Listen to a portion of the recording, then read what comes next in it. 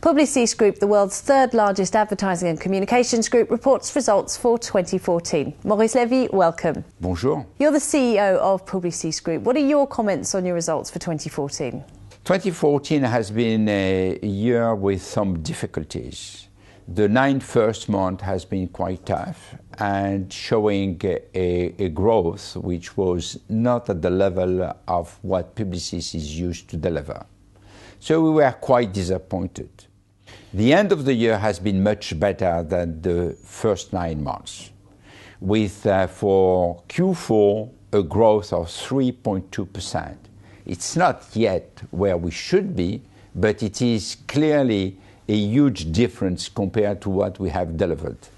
By having such a growth for Q4, we have been able to deliver a full year at 2%, which is higher than what the market was expecting and our own expectations. The margin has been also quite good. With such a low level of uh, growth, we should have expected an erosion of our margin. In fact, if we are taking into account difference of currency exchange rate and also the cost of acquisition, we should have posted a margin of 16.6%, which is a record.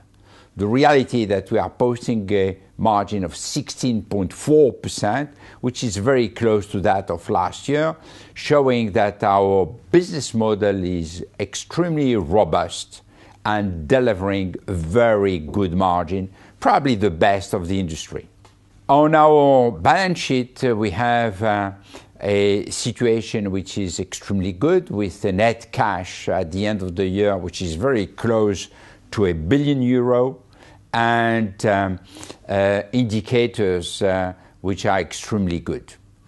Uh, now, the good news for our shareholders is that our headline net profit is at 829 million euros, which is up by 4.7 compared to last year, which allow us to deliver a dividend of 1.20 euro which is um, up by 9.1% compared to last year and representing 37.3% uh, of uh, distribution, which is uh, well ahead of the number that we anticipated to deliver and the commitment we made, which was at 35%. So we are well on track to uh, deliver the 42% uh, for year 2018, which has been our commitment.